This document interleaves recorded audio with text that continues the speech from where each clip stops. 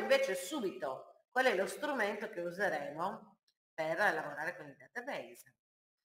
Provate a vedere su questo PC, disco locale C, ecco vedete, vedete che c'è XAMPP, aprite, c'è un sacco di roba qua dentro, dovete andare a aprire questo XAMPP Control, dove c'è quest'icona qua, arancione. Doppio clic, adesso si aprirà un pannello, questo pannello qui, lo vedete? Allora, questo pannello vi permette di avviare dei servizi, dei server. A noi interessano due server, il primo e il secondo. Il primo server Apache è un web server e il secondo è il database server MySQL. Quindi cosa fate? Cliccate su Start, Start e aspettate. Aspettate che compaiano i numeri sia nella colonna PID, Process ID, sia nella colonna Port. Sapete che cos'è una porta? E che cos'è un PID? Quando viene mandato un programma in esecuzione, questo programma può generare uno o più processi. Ecco, allora eh, ogni processo generato ha un suo identificatore univoco numerico.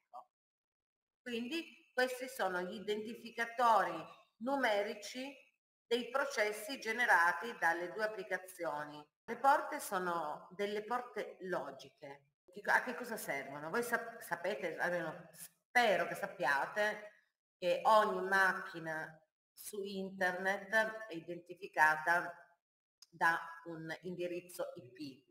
E l'indirizzo IP è, una, è un indirizzo logico che identifica il computer. Però su quel computer possono girare diversi servizi o server. Per esempio su questa macchina adesso sono in esecuzione il server web e il server di database. Quindi nel caso in cui io volessi andare a fare una richiesta a uno di questi due server, non basta specificare l'indirizzo IP, bisogna dirgli se io voglio chiedere un servizio al web server o al database server. Quindi questi sono i numeri di porte logiche, quindi non fisiche, che permettono di fare una richiesta precisamente ad un servizio che si trova in esecuzione su una certa macchina con certi indirizzi IP.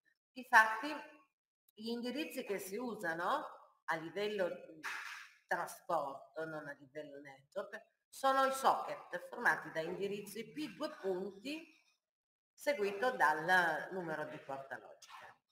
Adesso per poter accedere al pannello di amministrazione del database, clicco su admin in corrispondenza di MySQL. Poi aspetto pazientemente che si apra tutto quanto. Comunque questa è l'interfaccia grafica che permette di interagire con il server, perché il server di suo non ha mai un'interfaccia grafica, non è un programma che ha una sua interfaccia grafica, quindi sono, vengono creati degli altri programmi che permettono di interfacciarsi in maniera un po' più friendly, se no bisogna scrivere tutto righe di comando. E, e, qui poi noi lavoreremo appunto per creare le, le, le, tabelle del database, per andare a scrivere le istruzioni in linguaggio SQL, vedere i risultati, eccetera, eccetera. Stavo dicendo, basta andare a cercare XAMPP con uh, due P finali, XAMPP, installers and downloads. Quindi c'è per tutti. Scaricate questa roba qua, installa, si installa.